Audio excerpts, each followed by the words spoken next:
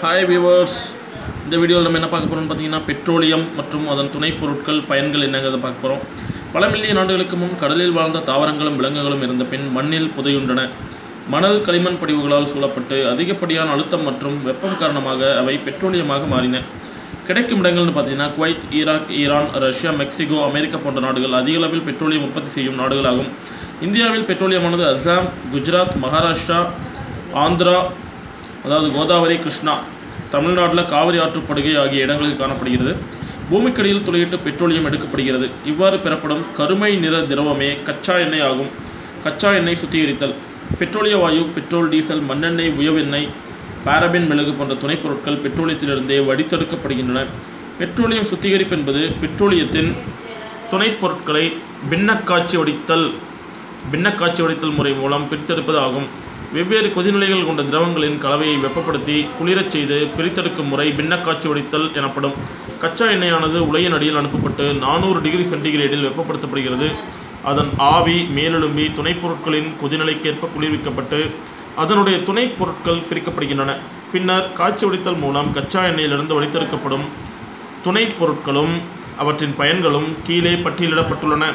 பெட்ரோலியத்தை மிக அதிகமாக பயன்படுத்தினால் ரெண்டாயிரத்தி ஐம்பதாம் ஆண்டுக்குள் பூமியில் பெட்ரோலியம் முழுவதுமாக தீர்ந்துவிடும் என ஒரு ஆய்வறிக்கை கூறுகிறது.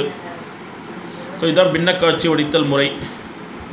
ஸோ கச்சா எண்ணெய் பின்னக்காட்சி வடிக்கிறாங்க. வெவ்வேறு சென்டிகிரேடில் பார்த்தீங்கன்னா அதனோட பகுதி பொருட்கள் வெளியே வருது. பெட்ரோலியம் வந்து லெஸ் தேன் ஃபார்ட்டி டிகிரி சென்டிகிரேடில் பெட்ரோலியம் வாயுவும் நாற்பதுலேருந்து நூற்றறுபது டிகிரி சென்டிகிரேட் வெப்பப்படுத்திங்கன்னா பெட்ரோலும்.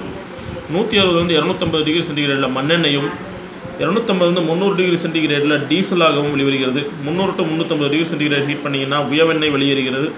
முந்நூற்றம்பதுலேருந்து நானூறு டிகிரி சென்டிகிரேடில் எரிபொருள் எண்ணெய் கிடைக்கிறது. ஸோ வெவ்வேறு டெம்பரேச்சரில் வெவ்வேறு பகுதி பொருட்கள் நமக்கு கிடைக்கின்றன. இதுதான் கச்சா எண்ணெயை நம்ம வெப்பப்படுத்தி கிடைக்கிற பின்னக்காட்சி வடித்தல் முறை. ஸோ துணைப் பொருட்கள் என்ன அதன் பயன்கள் என்னங்கிறத பார்ப்போம். திரவ பெட்ரோலிய எல்பிஜி வீடுகளில் எரிபொருளாக பயன்படுகிறது. பெட்ரோல் வந்து வாகனங்களுக்கு எரிபொருளாக பயன்படுகிறது. மண்ணெண்ணெய் அடுப்பு ஜெட் விமானத்தில் எரிபொருளாக பயன்படுகிறது. டீசல் கனரக வாகனங்களில் எரிபொருளாக பயன்படுகிறது. உயவெண்ணெய் உயவுப் பொருள் எரிபொருள் எண்ணெய் கப்பல் மின் நிலையத்தில் எரிபொருளாக பயன்படுகிறது. பாரபின் மெழுகு மெழுகு மற்றும் வேசலின் தயாரிக்க பயன்படுகிறது. பிட்டுமென் அப்படிங்கிறது வந்து பெயிண்ட் தயாரிக்க சாலைகள் போட பயன்படுகிறது.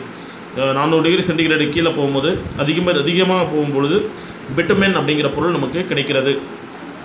ஸோ இயற்கை வாயுவானது ரெண்டு இருக்குது ஒன்று சிஎன்ஜி அழுத்தப்பட்ட இயற்கை வாயு இன்னொன்று வந்து நீர்மமாக்கப்பட்ட இயற்கை வாயு எல்என்ஜிம்போம் சிஎன்ஜி என்பது அதிக அழுத்தத்தில் சேகரிக்கப்படும் வாயு ஆனால் எல்என்ஜி என்பது மீ குளிர்ந்த நிலையில் உள்ள நீர்மம். சிஎன்ஜி குறைந்த செலவில் தயாரிக்கப்படுகிறது.